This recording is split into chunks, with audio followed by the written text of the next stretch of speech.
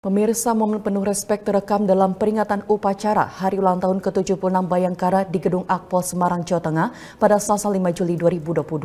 Menteri Pertahanan Republik Indonesia Prabowo Subianto memberikan salam hormat kepada Presiden Joko Widodo di saat hadirin yang, yang lain memilih untuk berjabat tangan.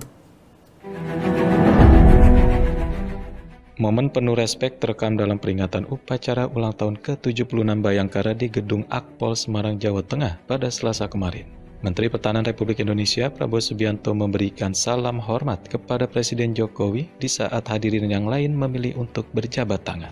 Momen Prabowo Subianto memberikan salam hormat kepada Presiden Jokowi terjadi beberapa saat sebelum upacara berakhir. Presiden turut menyalami pejabat tinggi negeri yang hadir. Sebelum bertemu Prabowo Subianto yang juga warga kehormatan Polri, Presiden Jokowi berdiri berhadap-hadapan dengan Presiden kelima Republik Indonesia, Megawati Soekarno Putri.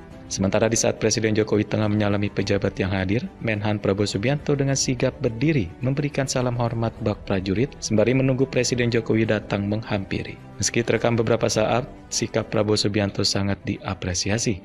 Sebab selain menunjukkan langkah kesatria, salam hormat juga menunjukkan sikap Prabowo Subianto yang menghargai Presiden Jokowi. Seperti diketahui, Presiden Joko Widodo menjadi inspektur upacara dalam puncak peringatan Hari Bayangkara di Gedung Akpol Semarang, Jawa Tengah pada Selasa kemarin. Upacara itu untuk memperingati hari ulang tahun ke-76 Bayangkara yang jatuh pada tanggal 1 Juli 2022. Dalam upacara itu turut hadir para pejabat tinggi negeri, yakni mantan Presiden RI Megawati Soekarno Putri, Menhan Prabowo Subianto, mantan Wapres Yusuf Kala, Panglima TNI Jenderal Andika Perkasa hingga sejumlah pejabat Polri.